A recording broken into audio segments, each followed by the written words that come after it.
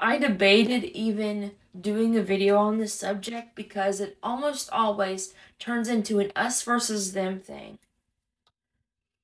One of these tragic events happens, and you got politicians wanting to say, oh, we need more gun control, and this, that, and the other.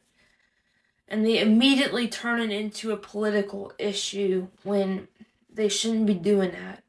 It is not something to be politicized at all.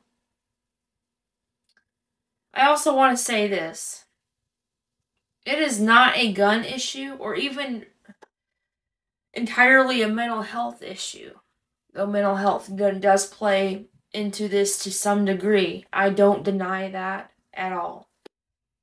When you get down to the bare root of this, it is a heart issue.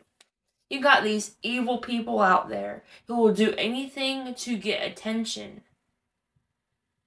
including killing other human beings. I think a big contributor to this is the fact that the media gives so much attention to these killers. That is very unnecessary. Because you got people who are evil and a little crazy too. They see that people like this are getting attention for doing these things.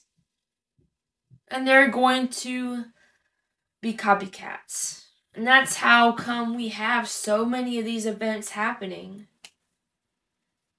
Media, stop giving attention to killers.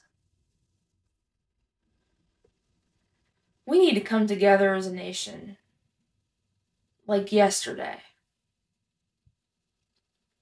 Put all our differences aside and just treat each other with basic respect. Handle our conflicts like grown people. We also do need to take mental health seriously.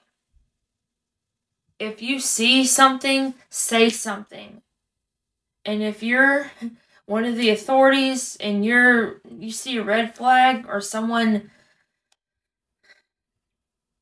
someone reports something to you, don't drop the ball like you did in many of these cases. Take this seriously. It is a serious issue and our kids' lives are at stake. See you next video.